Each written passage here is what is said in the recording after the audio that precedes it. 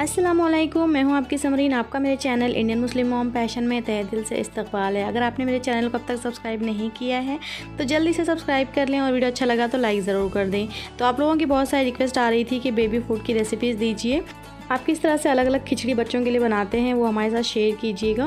तो मैंने सोचा कि चलो आज के वीडियो में वही शेयर किया जाए। तो यहाँ पर मैं बना रही हूँ मिक्स वेजिटेबल खिचड़ी, जो कि है टेन टू ट्वेल्व मंथ्स के बेबी एट मंथ्स के बेबी को आप ला सकते हैं। तो आज की हमारी जो फ़र्स्ट रेसिपी है, वो है मिक्स वेजिटेबल खिचड़ी। उसके लिए मैंने यहाँ पर कुछ वेजिटेबल्स चॉप करके लिए हैं। और मैंने यहाँ पर लिया है टू टेबल स्पून चावल और टू टेबल स्पून ही मैंने मूँग की दाल लिया है। इसको मैंने अच्छे से धोकर रख लिया है। और यहाँ पर जो मैंने लिया है, ये है ज़ीरा और काली मिरी का पाउडर, दो काली मिरी और थोड़े से ज़ीरे को मैंने पीस लिया था। तो यहाँ पर मैंने एक कुकर ले लिया है, उसमें हम सबसे पहले ऑयल या फिर घी ऐड करते हैं। बहुत ही कम हमें इसमें ऐड करना है। उसके बाद हमने इसमें ऐड कर दिया है, थोड़ा सा हल्का सा ज़ीरा ऐड कर देंगे। और ज़ीरा जब हमारा क्रैकल होने लगेगा तो मैंने यहाँ पर लिया है एक लहसुन की कली, इसको मैंने काट लिया था। वो मैंने यहाँ पर ऐड कर दिया है, उसके बाद जो मैंने थोड़ी सी प्याज ली थी ना, वन टेबल स्पून वो मैंने यहाँ पर डाल दिया है। बस लहसुन डालने के दो मिनट के बाद हमें इसको डालना है। इसको थोड़ा सा सॉफ्ट होने देते हैं, उसके बाद जो हमारे टमाटर हैं, वो भी हम डाल देंगे। और सारी चीज़ें मैंने टू टेबल स्पून या फिर वन टेबल स्पून के करीब ही लिया है।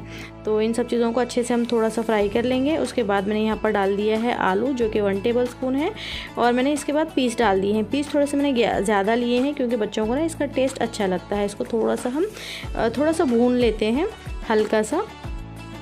और उसके बाद हम इसमें ऐड कर देंगे जो हमने पाउडर बनाया है ज़ीरा और काली मिरी का। बस मैंने दो काली मिरी ले लिए थे और हाफ़ टी स्पून से भी कम मैंने ज़ीरा लिया था और उसको मैंने पीस लिया है ताकि बच्चों को ना थोड़ा सा टेस्ट आ जाए। थोड़ा सा टेस्ट चेंज हो जाएगा ना तो बच्चे खाने लगेंगे।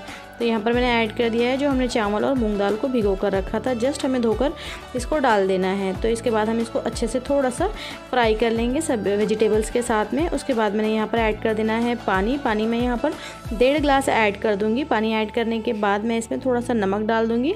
आप देख रहे हो मैंने सिर्फ़ डेढ़ ग्लास पानी इसमें ऐड किया है। अगर आप इसमें एक ग्लास ऐड करेंगे ना तो थोड़े चावल जो है ना कड़क हो जाएँगे। इसलिए डेढ़ ग्लास पानी ऐड कर दें। उसके बाद हम कुकर का लिड लगा देंगे। कुकर का लिड लगाने के बाद हम इसमें हाई फ्लेम पर पाँच से छः सीटी आने देंगे। उसके बाद हम इसको, इसकी जो फ्लेम है, वो लो कर देंगे। लो फ्लेम पर हम इसको एक सीटी आने देंगे, उसके बाद गैस को ऑफ़ कर देंगे। और जब तक कि हमारा प्रेशर रिलीज़ नहीं होता, हम इसको ओपन नहीं कर देंगे। तो ये देखिए, मैंने इसको हाई फ्लेम पर रख दिया है। पाँच से छः सीटी हमारे हो जाएँगे, तब हम इसको लो फ्लेम पर करेंगे। तो ये देखिए, ये आखिरी सीटी है हमारी। अब मैं इसको लो फ्लेम पर कर कर एक सीटी आने देती हूँ। और जब हमारी एक सीटी आ जाएगी तो ये देखिए हमारी लास्ट सीटी आ गई है गैस को ऑफ़ कर लेते हैं और जब तक कि प्रेशर रिलीज़ नहीं होता, हम इसको ओपन नहीं करेंगे। तो ये देखिए हमारा जो कुकर है ना, वो पूरा ठंडा हो गया है, अब हम इसको ओपन कर लेते हैं। तो ये देखिए, हमारी जो खिचड़ी है ना, वो बन करके रेडी हो गई है। थोड़ा सा ये वाटरी है, अगर वाटरी रखेंगे ना तो बच्चों को अच्छा लगेगा, क्योंकि ज़्यादा हम गाढ़ी कर देंगे ना और उसमें पानी नहीं रहेगा तो बच्चों के हलक से नीचे नहीं उतरेगा और वो खाना पसंद नहीं करेंगे। स्पेशली मेरे बच्चे के साथ में ऐसा होता है, इसलिए मैंने इसको थोड़ा सा हल्का सा वाटरी रखा है। और मैं जो है ना, इसको हमेशा ग्राइंडर में पीस कर देती हूँ। जब मैं इसको मैश करके देती हूँ ना मैशर से तो वो उनको पसंद नहीं आता है। तो बच्चे क्या करते हैं, मुँह से जो है ना, उंगली से निकालना स्टार्ट कर देते हैं। इसलिए मैं इसको मैश करके देती हूँ तो उनको अच्छा लगता है क्योंकि सारी चीज़ें अच्छे से ग्राइंड हो जाती है ना इसलिए। तो चलिए इसको निकाल लेते हैं। आप चाहें तो इसको मैश कर सकते हैं, ये फुली ऑप्शनल है। तो ये देखिए हमारी मिक्स वेजिटेबल खिचड़ी आठ से दस मिनट के अंदर बन करके रेडी हो गई है। तो चलिए अब हम नेक्स्ट रेसिपी देख लेते हैं, जो कि है बच्चों के नाश्ते की। बच्चों को बहुत ज़्यादा पसंद आता है मखाने की खीर और ये जो है ना हेल्दी भी होती है। तो चलिए इसकी रेसिपी देख लेते हैं। यहाँ पर मैंने हाफ़ कप से भी थोड़े से कम मैंने मखाने लिए हैं और मैंने इसमें ऐड कर दिया था घी। इसको हम थोड़ा सा ड्राई रोस्ट कर लेंगे लो फ्लेम पर। फ्लेम को मैंने लो कर दिया है। अब हम इसको तब तक के भी फ्राई करेंगे, जब तक कि थोड़े से क्रिस्पी नहीं हो जाते और थोड़ा सा अपना कलर जो है ना, ये चेंज नहीं करते। हल्का सा हम इसको भून लेंगे। थोड़ा सा टाइम लगता है, बस। तो ये देखिए, हमारे मखाने जो है ना, अच्छे से भी भुन गए हैं और थोड़े थोड़े ना ब्राउन होने लगे हैं तो इसको हम ऑफ़ कर देते हैं। थोड़े से ये क्रिस्पी हो गए हैं, थोड़ा सा हम इसको ठंडा होने देते हैं, उसके बाद हम इसको ग्राइंडर में ग्राइंड कर लेंगे। तो ये देखिए, मैंने अभी यहाँ पर इसको ग्राइंडर में ले लिया है, अब मैं इसका एक पाउडर बनाऊँगी। बस थोड़ा सा हमें इसको घुमाना है, हर चीज़ थोड़ी थोड़ी करना है। एक चक्कर में जो है ना, ये ग्राइंड हो जाएँगे, ज़्यादा घुमाने की ज़रूरत नहीं है। बस हम इसको थोड़ा सा ग्राइंड कर लेंगे। तो ये देखिए, हमारे मखाने जो है ना ग्राइंड हो गए हैं। और अब हम इसमें ऐड कर देंगे डेढ़ कप दूध। और मैंने अभी तक जो है ना, गैस को ऑन नहीं किया है।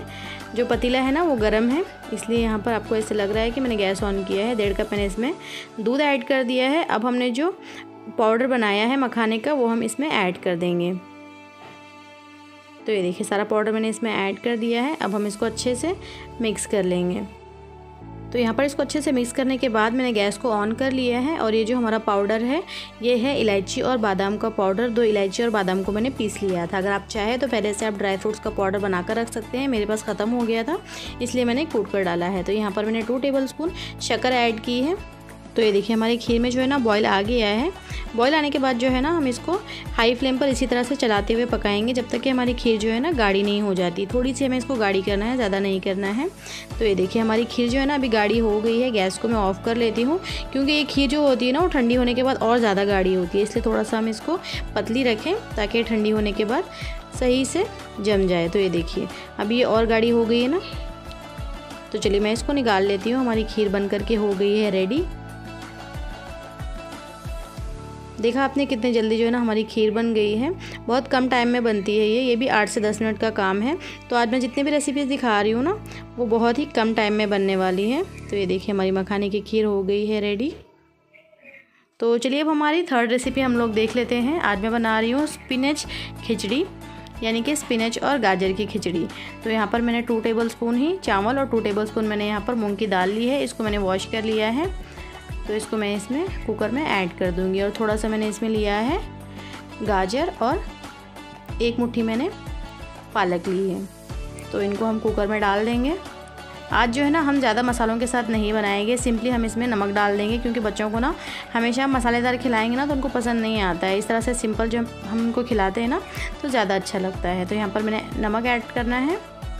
तो ये देखिए, नमक इसे मैंने ऐड कर दिया है। अब हम इसको मिक्स कर लेंगे, उसके बाद हम कुकर का लिड लगा देंगे। तो मैंने यहाँ पर एक गिलास पानी डाला है। अब मैं इसको चार से पाँच सीटी हाई फ्लेम पर आने दूँगी। उसके बाद लो फ्लेम पर मैं इसको एक सीटी आने के बाद गैस को ऑफ़ कर दूँगी।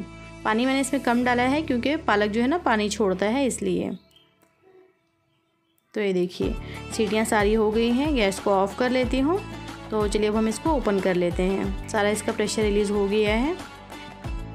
अगर हम इसको प्रेशर रिलीज़ होने से पहले निकालते हैं ना तो चावल थोड़े से कड़क रहते हैं तो इसलिए प्रेशर रिलीज़ होने के बाद ही निकालें। और आप देख रहे हो ये भी ना वाटरी है। मैं इसी तरह से वाटरी रखती हूँ ताकि बच्चों को ना खाने में आसानी हो, उनके गले से जो ना आसानी से उतर जाए।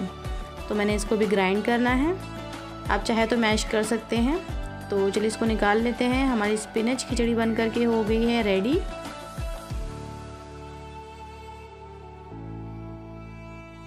आज हमारी जो फोर्थ रेसिपी है, वो है वेजिटेबल मसाला ओट्स, जो कि बच्चों के लिए जो है ना हेल्दी होगा। तो सारी चीज़ें मैं आपको हेल्दी दिखा रही हूँ। तो यहाँ पर मैंने कुछ वेजिटेबल चॉप करके ले लिए हैं, जो कि वन से टू टेबल स्पून के करीब हैं। और एक मैंने यहाँ पर लहसुन लिया है टू टेबल स्पून मैंने इसमें मूंग दाल ली है और टू टेबल स्पून मैंने इसमें ओट्स लिए हैं। और मैं जो ओट्स यूज़ कर रही हूँ, वो ये वाले हैं। ये देखिए इको वैली के। तो चलिए हम देख लेते हैं। तो यहाँ पर मैंने कुकर ले लिया है, हल्का सा हम इसमें ऑयल या फिर घी ऐड कर देंगे। और जब ऑयल हमारा गर्म हो जाएगा तो हम इसमें थोड़ा सा ज़ीरा और करी पत्ता ऐड कर देंगे। एक करी पत्ता मैंने इसमें ऐड कर दिया है। अब हम इसमें ऐड कर देंगे प्याज और एक जो लहसुन था, वो भी हम यहीं पर ऐड कर देंगे। बस सारी चीज़ें जो है ना हम इसमें डालकर हल्का सा हमें इसको सॉटे करना है, ताकि जो वेजिटेबल्स हैं ना हमारे थोड़े से भुन जाएँ। तो चलिए इसको हम थोड़ा सा भून लेते हैं। और अगर आपको जो है ना अलग से मसाले डालना है तो आप इसमें डाल सकते हैं। अगर आपके बच्चे हरी मिर्च वगैरह खाते हैं हल्की सी तो आप आधी हरी मिर्च यहाँ पर डाल सकते हैं, लेकिन मैं अपने बच्चे को अभी तक नहीं देती हूँ तेज़, इसलिए मैंने इसमें कुछ भी ऐड नहीं किया है। तो यहाँ पर मैं ऐड कर रही हूँ ओट्स, और जो हमने मूंग दाल धोकर रखा है, वो भी हम यहीं पर ऐड कर देंगे। ओट्स को मैं वॉश कर कर डालती हूँ। तो ये देखिए, मैंने यहाँ पर मूंग दाल डाल दिया है। और अब मैं इसमें ऐड कर दूँगी एक गिलास पानी। पानी जो है ना हम डेढ़ ग्लास नहीं ऐड करेंगे, बस एक ही ग्लास हम इसमें पानी ऐड कर देंगे और एज़ यूजल पाँच से छः सीटी आने तक हाई फ्लेम पर पकाने देंगे, उसके बाद लो फ्लेम पर एक सीटी आने देंगे, उसके बाद गैस को ऑफ़ कर देंगे। तो यहाँ पर मैं थोड़ी सी ना हल्दी डाल रही हूँ और थोड़ा सा नमक भी डाल देंगे ऊपर से।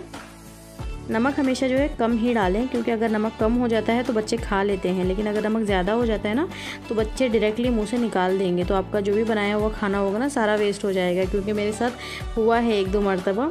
जब नमक ज़्यादा हो जाता है ना तो बच्चे नहीं खाते हैं। और जब भी आप बच्चों को खिलाओ ना तो पहले चेक कर लो कि कैसा बना है। अगर आपको अच्छा लगेगा, तभी आपके बच्चों को भी अच्छा लगेगा। तो मैं हमेशा जो है ना जोहेब को खिलाने से पहले एक चम्मच चेक करती हूँ। जब मुझे अच्छा लगता है, तभी जो है वो खाते हैं। अदरवाइज़ कभी कभी ऐसे होता है ना कि मुझे टेस्ट किसी चीज़ का पसंद नहीं आता। तो जोहेब भी नहीं खाते हैं वो। तो ये देखिए, मैंने इसको मैश कर लिया है। इसको ज़्यादा जो है ना, ग्राइंड करने की ज़रूरत नहीं पड़ती, इसलिए मैंने इसको मैशर की मदद से मैश कर लिया है। तो चलिए, अब हम इसको निकाल लेते हैं।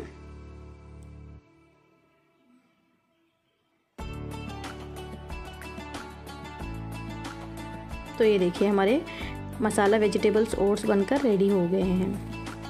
तो आज की हमारी जो लास्ट रेसिपी है, वो है बनाना पैनकेक तो इसकी जो रेसिपी है, मैंने आपको लास्ट वीडियो में दे दिया है, लेकिन एक कन्फ्यूज़न और एक क्वेश्चन आप लोगों का था कि हम जो है ना मैदे की जगह पर आटा यूज़ कर सकते हैं क्या? तो आप बिल्कुल आटा यूज़ कर सकते हैं। इनफैक्ट आप मैदे की जगह पर जो है ना ओट्स भी यूज़ कर सकते हैं। जितना मैंने मैदा लिया है, उतना ही ओट्स ले लें, लेकिन आप जो है ना उसको ग्राइंडर में डायरेक्टली ग्राइंड कर लें, ताकि उसका भी जो है ना अच्छे से पेस्ट बन जाए। तो बस आज की यही टिप है। तो आप लोगों को आज का ये वीडियो कैसा लगा मुझे कमेंट करके ज़रूर बताना और इसकी जो रेसिपी है, वो वाला ब्लॉग ऊपर आई बटन में आ रहा होगा तो आप वहाँ पर जाकर चेक कर सकते हैं कि मैंने इसको किस तरह से बनाया है। तो चलिए आज की वीडियो को यहीं पर एंड करते हैं। अच्छा लगा तो लाइक ज़रूर कीजिएगा। दुआ में याद रखिएगा। अल्लाह हाफिज़।